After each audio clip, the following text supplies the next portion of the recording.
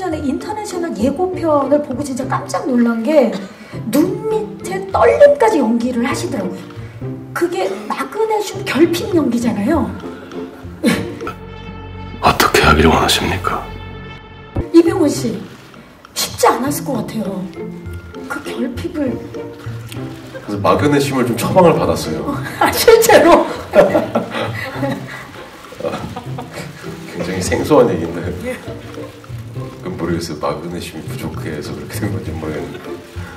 어, 이 영화에서 보여지는 감정들이라는 게 어, 사실 어, 아주 어, 사실 그 안을 들여다보면 굉장히 극단적인 감정들이지만 어, 표현은 굉장히 많이 자제되는 어, 그런 감정들이 많아요. 그래서 그게 그런 식으로 표현이 됐던 것 같아요. 곽도원 씨 현장에서 늘 시나리오를 놓지 않는 시나리오 착분 연기를 보여주셨는데 시나리오를 손에서 놓지 못한 이유 여쭤봐도 될까요?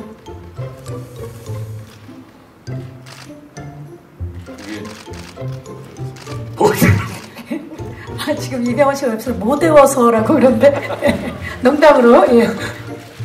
더 열심히 외워야 되고요.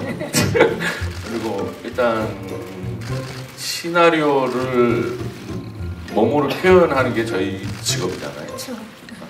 시나리오 안에 그 연기의 답이 다 있다고 생각을 해요.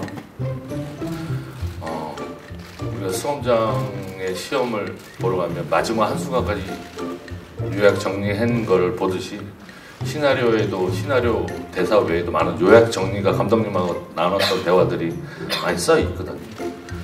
그런 것들 마지막 이제 표현하기 전에 한번 숙지하는 그런 것도 있고 우리 이희준 씨는 우민호 감독님과 마야강에 이어서 두 번째 작품인데 이번 남산의 부장들의 곽 실장을 연기하면서 혹시 이민호 감독님이 특별히 디렉팅을 주신 게 있나요? 원래 실화에 있었던 음, 네? 그분이 좀 덩치가 있으셔서 어, 감독님한테 아, 감독님이 이제 어, 그냥 희준 씨 연기로 하면 된다 그랬는데 저도 보니까 찌면 좋을 것 같은 거예요. 감독님한테 말씀드리니까 아니 나는 강요는 안 한다. 하지만 찌면 좋겠지라고 이제 해서 하셔서 부담 주고 싶진 않나? 네, 찍으라는 얘기죠. 그러나 찍으면 좋다. 예. 찌면 좋겠지. 근데 연기를 해도 돼 희준 씨는 요새 그래서 찍을 수밖에 없었습니다. 이게 감량만큼 힘든 게 증량인데 25kg를 증량하셨어요. 네, 그 식단은 이제 자는 거 외에 계속 먹는다.